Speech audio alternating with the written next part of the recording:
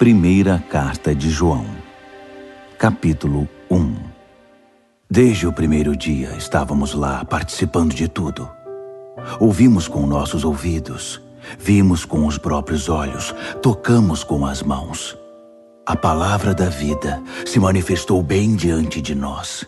Somos testemunhas oculares. Agora, sem floreios, contamos tudo a vocês. O que testemunhamos foi simplesmente incrível. A infinita vida do próprio Deus tomou forma diante de nós. Nós ouvimos e o ouvimos, e agora estamos contando a vocês para que, como nós, tenham a experiência da comunhão com o Pai e o Filho Jesus Cristo. A razão de eu estar escrevendo é apenas esta. Queremos que vocês desfrutem isso também. A alegria de vocês duplicará a nossa. Esta é, em essência, a mensagem que ouvimos de Cristo e passamos a vocês. Deus é luz, pura luz. Nele não há nenhum traço de escuridão. Se afirmarmos que andamos com Ele e continuamos a tropeçar por falta de luz, obviamente estamos mentindo. Não vivemos o que afirmamos. Mas se andarmos na luz, como o próprio Deus é luz, Vamos experimentar também uma vida de comunhão uns com os outros, enquanto o sangue derramado de Jesus, o Filho de Deus, nos purifica de todo o nosso pecado. Se afirmarmos que estamos livres do pecado, estaremos apenas enganando a nós mesmos. Uma declaração dessas é um erro absurdo. Mas se admitirmos nossos pecados e os confessarmos, Ele não vai deixar de nos atender. Ele é fiel a si mesmo. Ele perdoará nossos pecados e nos purificará de todo erro. Se afirmarmos que nunca pecamos, contradizemos Deus, fazemos dele um mentiroso. Uma declaração dessas simplesmente revela nossa ignorância a respeito de Deus. Primeira de João, capítulo 2 Escrevo isto, filhos queridos, para orientá-los a não pecar. Mas se alguém cometer pecado, temos um amigo sacerdote na presença do Pai, Jesus Cristo, o justo. Quando ele se entregou como sacrifício por nossos pecados, resolveu para sempre o problema do pecado. Não apenas os nossos, mas os do mundo inteiro. Esta é a forma de ter certeza de que conhecemos Deus da maneira correta guardar seus mandamentos. Se alguém afirma, eu o conheço bem, mas não guarda seus mandamentos, é um mentiroso. Sua vida não combina com suas palavras. Mas aquele que guarda a palavra de Deus demonstra o amor amadurecido de Deus. É o único meio de saber que estamos em Deus. Quem afirma ser íntimo de Deus deve viver o mesmo tipo de vida que Jesus viveu. Meus amigos, não estou escrevendo nenhuma novidade.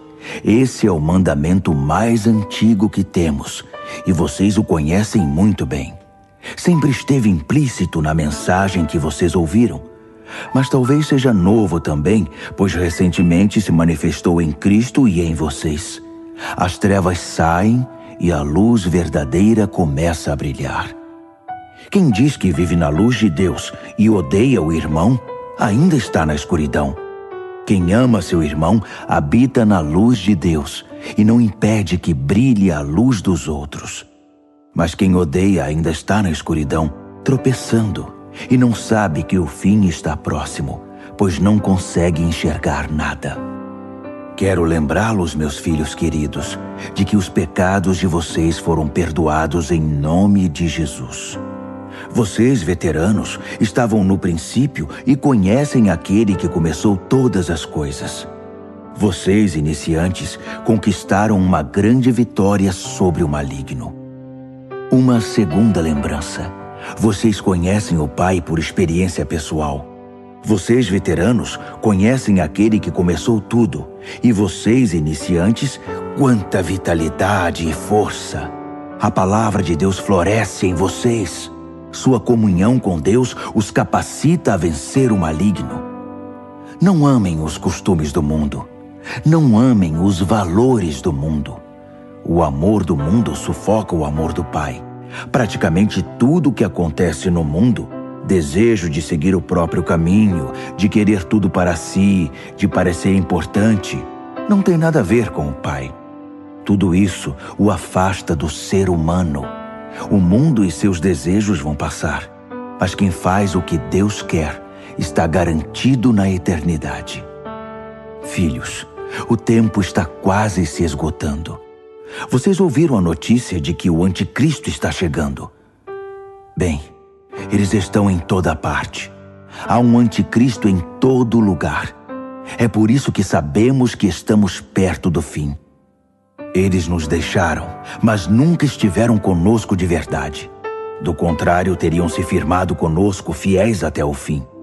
Quando nos deixaram, mostraram quem são de fato e que nunca foram dos nossos. Mas vocês são. O Santo ungiu vocês e vocês sabem disso. Eu não escreveria para dizer algo que não sabem, mas para confirmar a verdade que já é conhecida e para lembrar que a verdade não produz mentiras. Então, quem está mentindo aqui? Ora, aquele que nega que Jesus é o Cristo divino. É isto que faz um anticristo: negar o Pai e negar o Filho. Quem nega o Filho não tem parte com o Pai, mas afirmar o Filho é abraçar o Pai. Não se afastem do que ouviram desde o princípio, a mensagem original, que ela permeie a vida de vocês. Se o que ouviram desde o princípio criou raízes, vocês viverão plenamente no Filho e no Pai. É exatamente o que Cristo prometeu: vida eterna, vida de verdade. Escrevi para diverti-los quanto aos que tentam enganá-los. Mas eles não são páreo para o que está profundamente enraizado no coração de vocês. A unção de Cristo, nada menos que isso. Vocês não precisam que ninguém apresente nenhum ensino novo. A unção de Cristo ensina a verdade sobre tudo acerca de vocês mesmos e dele, sem a contaminação da mentira. Vivam verdadeiramente aquilo que aprenderam. Agora, filhos, permaneçam com Cristo. Vivam plenamente em Cristo e estaremos prontos quando Ele se manifestar prontos para recebê-lo de braços abertos, sem motivo de vergonha e sem desculpas esfarrapadas.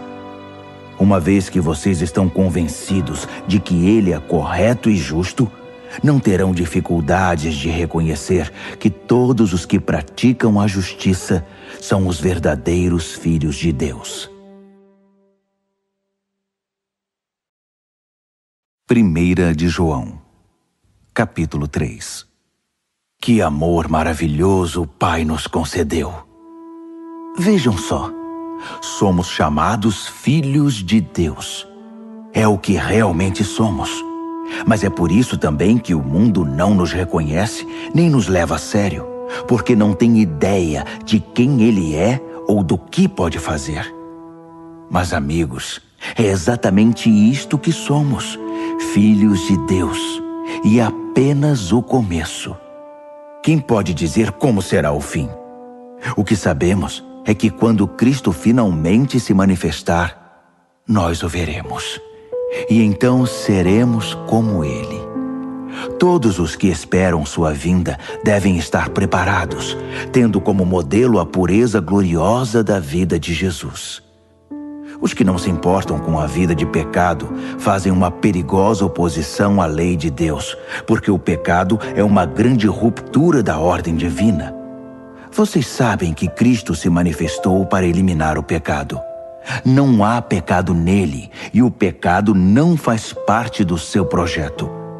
Ninguém que viva profundamente em Cristo vai fazer do pecado uma prática. Quem vive na prática do pecado nunca se voltou para Cristo, mas virou as costas para Ele. Por isso, meus filhos queridos, não permitam que ninguém desvie vocês da verdade. Quem age corretamente é correto, como o que vemos no justo Messias. Os que fazem do pecado uma prática são do diabo, o pioneiro na prática do pecado. O Filho de Deus entrou em cena para destruir os caminhos do diabo. Os que foram concebidos e trazidos à vida por Deus não fazem do pecado uma prática. Como poderiam? A semente de Deus está no íntimo do seu ser, fazendo deles o que são. Não é da natureza dos nascidos de Deus praticar e ostentar o pecado. Vou dizer como diferenciar entre os filhos de Deus e os filhos do diabo. Quem não pratica a justiça não é de Deus. Tampouco quem não ama seu irmão. Simples assim. Esta é a mensagem original que ouvimos.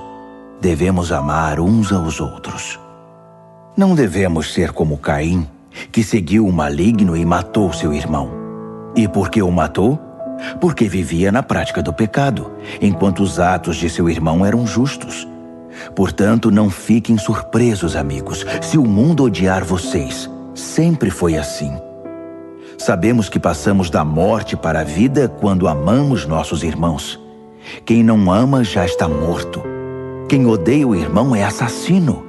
E vocês sabem muito bem que vida eterna e assassinato não combinam. É assim que entendemos e experimentamos o amor. Cristo sacrificou sua vida por nós. Portanto, devemos nos sacrificar por nossos irmãos, não apenas por nós mesmos. Se você vê um irmão em necessidade e tem recursos para ajudá-lo, mas vira as costas e não faz nada, o que acontece com o amor de Deus? Desaparece. E é você que faz esse amor desaparecer. Meus filhos queridos, não vamos apenas falar de amor. Vamos praticar o amor verdadeiro. É o único modo de saber se estamos vivendo a realidade de Deus.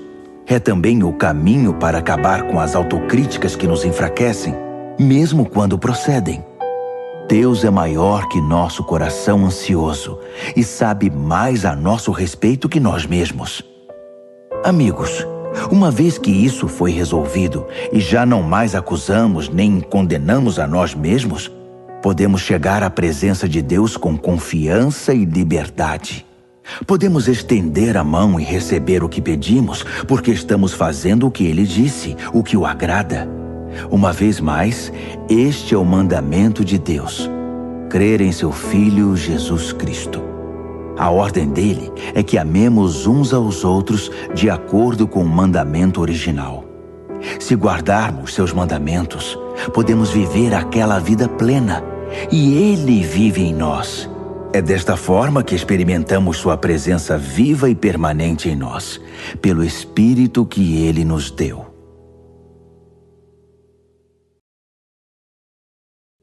Primeira de João, capítulo 4 Meus queridos amigos, não creiam em tudo que ouvem. Examinem cuidadosamente o que os outros dizem nem todo mundo que fala de Deus vem de Deus. Há muitos pregadores mentirosos mundo afora. Querem saber como identificar o genuíno Espírito de Deus? Quem confessa abertamente sua fé em Jesus Cristo, o Filho de Deus, que veio como uma pessoa real de carne e sangue, vem de Deus e pertence a Deus. Mas quem se recusa a confessar a fé em Jesus não quer nada com Deus. É o espírito do anticristo que vocês ouviram que viria. Pois bem, ele já está por aí mais cedo que pensávamos. Meus filhos queridos, vocês vêm da parte de Deus e pertencem a Deus. Vocês já obtiveram uma grande vitória sobre esses falsos mestres, pois o espírito que está em vocês é mais forte do que qualquer coisa no mundo. Essas pessoas pertencem ao mundo que nega o Cristo eles falam a língua do mundo e o mundo os escuta. Mas nós viemos de Deus e pertencemos a Deus. Quem conhece Deus nos entende e nos ouve. Quem não quer nada com Deus, evidentemente, não vai nos ouvir. Esse é outro teste para diferenciar o espírito da verdade do espírito do engano. Meus amigos amados, Continuemos a amar uns aos outros, pois o amor vem da parte de Deus. Quem ama é nascido de Deus e tem um relacionamento real com Ele. Quem se recusa a amar não sabe o que mais importa sobre Deus, pois Deus é amor. Vocês não podem conhecê-lo se não amam. Foi assim que Deus demonstrou seu amor por nós. Deus enviou seu único filho ao mundo para que pudéssemos viver por meio dele. É desse amor que estamos falando. Não que tenhamos amado a Deus, mas que Ele nos amou e enviou seu Filho como sacrifício para purificar nossos pecados e consertar os danos que eles causaram em nosso relacionamento com Deus. Meus amigos queridos, se Deus nos amou assim, então devemos amar uns aos outros. Ninguém viu Deus, nunca. Mas se amarmos uns aos outros, Deus habitará no íntimo do nosso ser e seu amor será completo em nós amor perfeito. Sabemos que estamos vivendo uma vida plena nele e ele em nós, porque ele nos deu vida que procede da sua vida, que vem do seu espírito. Além disso, vimos por nós mesmos e continuamos a afirmar que o Pai enviou seu Filho para salvar o mundo. Quem confessa que Jesus é o Filho de Deus participa de um relacionamento íntimo e estável com Deus. É por saber disso que abraçamos de coração esse amor que procede de Deus. Deus é amor. Quando passamos a habitar permanentemente no amor, vivendo uma vida de amor, vivemos em Deus e Deus vive em nós. Assim, o amor tem o controle da casa, fica à vontade e amadurece em nós. E não temos mais preocupação com o dia do juízo. Nossa situação no mundo é idêntica à de Cristo. No amor, não há espaço para o medo. O amor amadurecido expulsa o medo. Considerando que o medo causa uma vida vacilante e cheia de temores, medo da morte, medo do julgamento, podemos dizer que quem tem medo não está completamente aperfeiçoado no amor. Mas nós podemos desfrutar o amor, amar e ser amados, pois primeiro fomos amados. Por isso agora podemos amar. A verdade é que Ele nos amou primeiro. Se alguém se vangloria dizendo eu amo a Deus, mas odeia e despreza seu irmão, é mentiroso. Se não ama a pessoa que vê, como pode amar a Deus a quem não vê? O mandamento que temos da parte de Cristo é sem rodeios. Amar a Deus se vê na prática de amar o próximo. Vocês precisam amar os dois.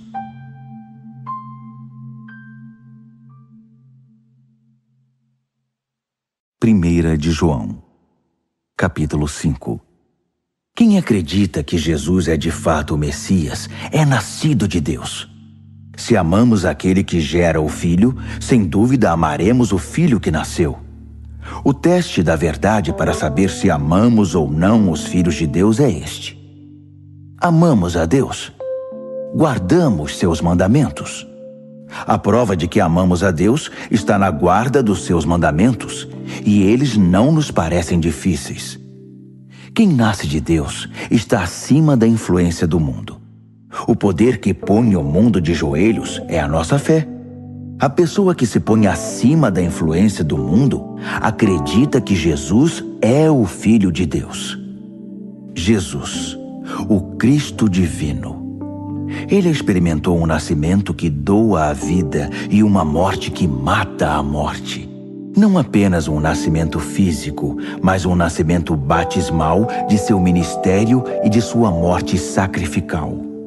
E em tudo isso, o Espírito confirma a verdade, a realidade da presença de Deus no batismo e na crucificação de Jesus, tornando essas ocasiões vivas para nós. O testemunho é tríplice o Espírito, o batismo e a crucificação, os três em perfeito acordo. Se damos algum valor ao testemunho humano, nos sentiremos muito mais seguros com o testemunho de Deus a respeito do seu Filho. Quem crê no Filho de Deus, confirma no íntimo do seu ser o testemunho de Deus. Quem se recusa a crer, está chamando Deus de mentiroso, recusando-se a crer no testemunho do próprio Deus a respeito de seu filho. Esta é a essência do testemunho. Deus nos deu vida eterna, e a vida está em seu Filho. Por isso, quem tem o Filho tem a vida. Quem rejeita o Filho, rejeita a vida. Meu propósito em escrever é simplesmente este: que vocês que creem no Filho de Deus saibam que, sem sombra de dúvida, têm a vida eterna. A realidade, não a ilusão. Na presença dele, temos confiança e liberdade para fazer nossos pedidos de acordo com sua vontade, na certeza de que ele nos ouvirá. E se temos essa certeza, sabemos que a resposta é garantida. Por exemplo, se vemos um cristão pecando, não falo aqui dos que fazem da prática do pecado um caminho fatal que leva à morte eterna. Pedimos a ajuda de Deus e ele nos atende, dando vida ao pecador cujo pecado não é fatal. Existe pecado que é fatal. E nesse caso não digo que se devorar. Tudo que fazemos de errado é pecado, mas nem todo pecado é fatal. Sabemos que ninguém nascido de Deus faz do pecado uma prática, o pecado fatal. Os nascidos de Deus são também protegidos por Deus. O maligno não pode tocar neles. Sabemos que somos protegidos por Deus. Só o povo do mundo continua nas garras do maligno. Sabemos também que o Filho de Deus veio para que pudéssemos reconhecer e entender a verdade de Deus. Que presente! E que vivemos na própria verdade, no Filho de Deus, Jesus Cristo. Jesus é, ao mesmo tempo, Deus verdadeiro e vida verdadeira. Filhos queridos, cuidado com as imitações.